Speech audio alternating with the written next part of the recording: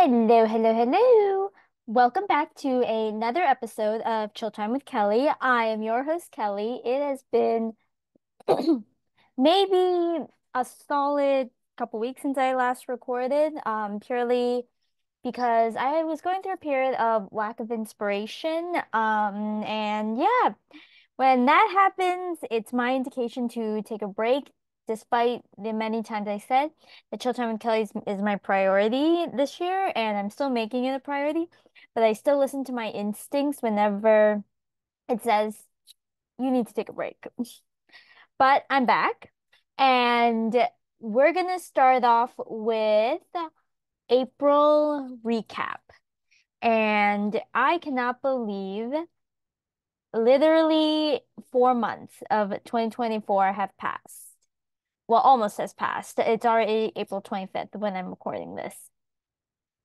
And April has been a very, very fast month for me personally because I have literally learned so, so much this month in terms of work, in terms of myself, in terms of my likes and my dislikes.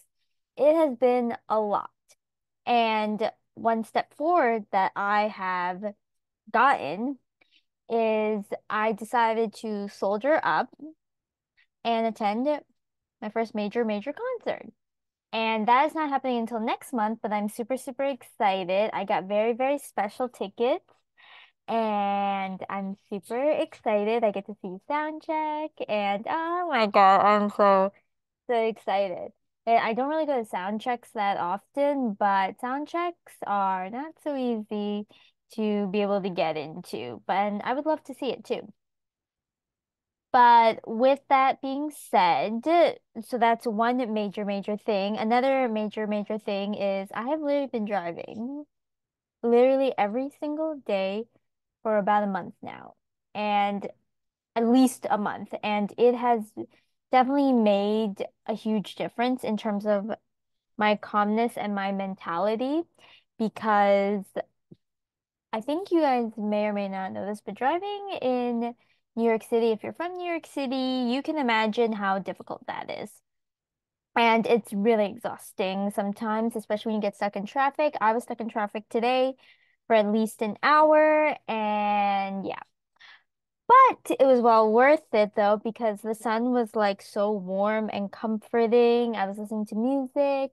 And it was just like a perfect time to just calm and center myself and get in my thought process, which honestly makes me super, super happy.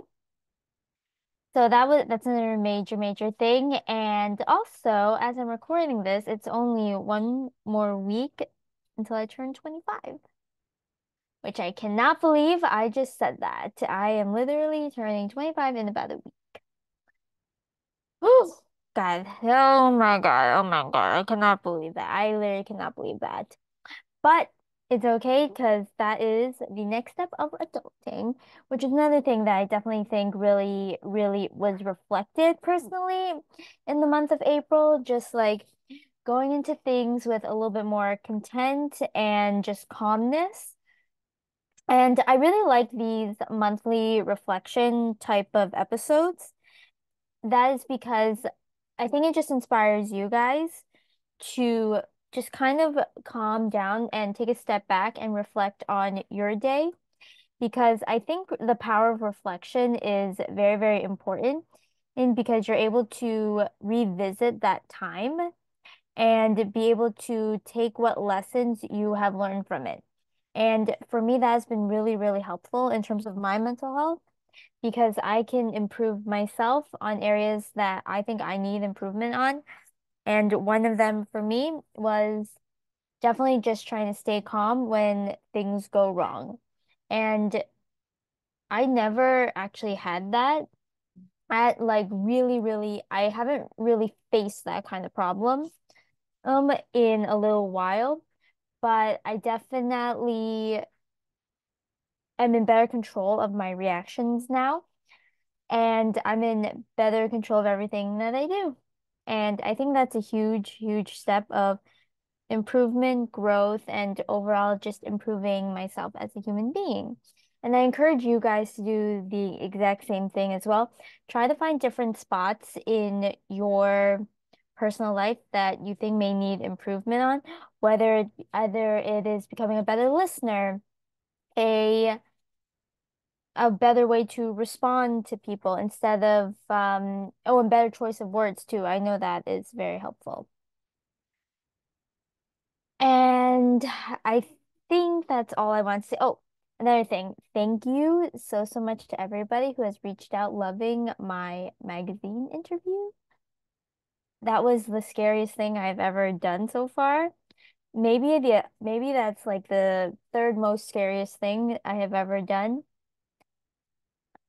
And I'm so happy you guys love it. I still get messages up to date telling me that, oh my God, I just saw your magazine interview. You're such an inspiration. Well, thank you so much for all those sweet messages. And I'm just happy my story is able to inspire somebody else and mm, just also overall to show them that they're not alone.